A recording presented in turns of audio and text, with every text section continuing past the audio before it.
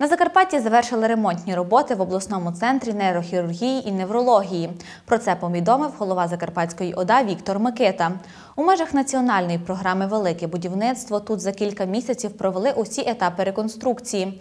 Влаштували ліфти і вже зараз готують приміщення до встановлення сучасного потужного ангіографа, зауважив очільник області.